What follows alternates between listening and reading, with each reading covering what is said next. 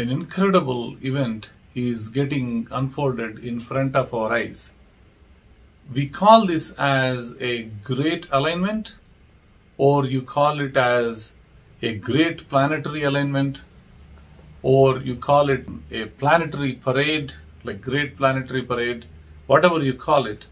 We should be able to see in front of us all the planets except the Earth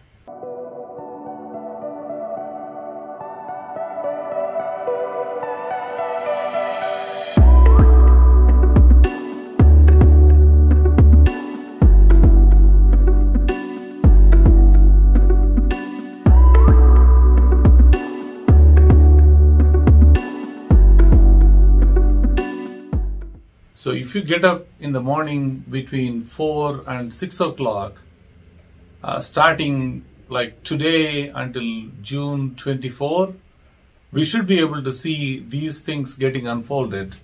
So I lined up my telescopes here to show you the best pictures possible. When I say all the planets, I mean all the planets. So before we lost Pluto as a planet, we had actually nine planets, two uh, orbiting the sun. Uh, so even including the Pluto, we should be able to see all the eight planets besides the Earth, and even Moon is going to join, and we should see the uh, ninth planet in front of us as the Moon. So Mercury is the first planet that you will see closer to the Sun, and it's pretty elusive and this planet we generally don't see because it's so close to the sun. But starting June 14th 15th you should be able to see this planet because it is quite far from the sun and you should be able to see that in the morning sky rising up. And then you will see Venus in the sky.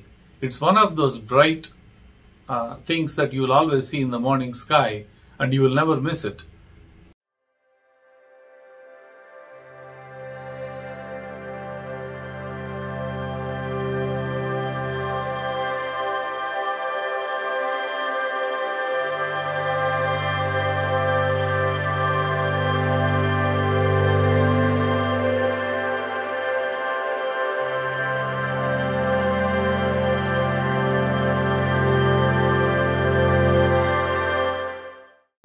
Uh, going from Venus, if you go a little bit further up, uh, with using the telescopes and using maybe a powerful binoculars, you should be able to see Uranus. It's not, we can't see it without any telescope, but with a telescope you should be able to see Uranus there.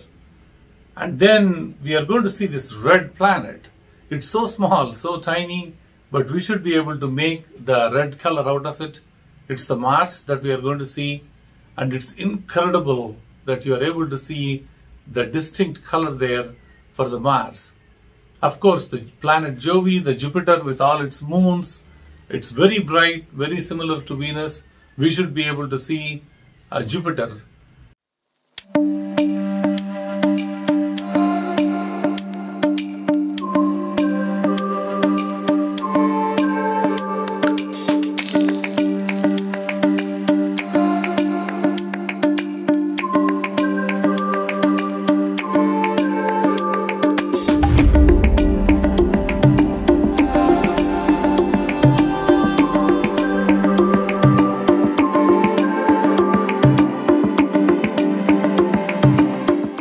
Next to the Jupiter, there is Neptune, but Neptune is only visible with telescopes or a powerful binoculars again.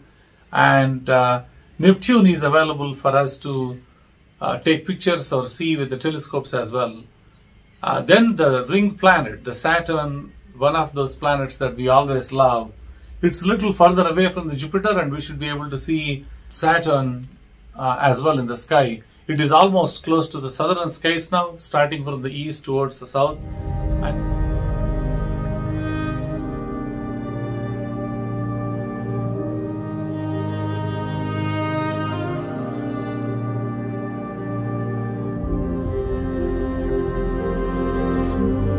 if you go further up and further to the south, uh, if we can make out and use the telescopes really well, we should be able to see uh, Pluto, and that's amazing.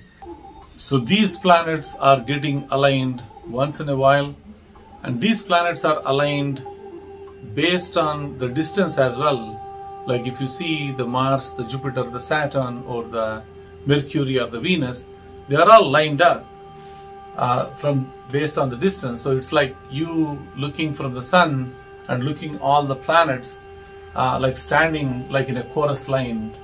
Pretty rare event and we don't want to miss it. I'll try to use the telescopes that I have.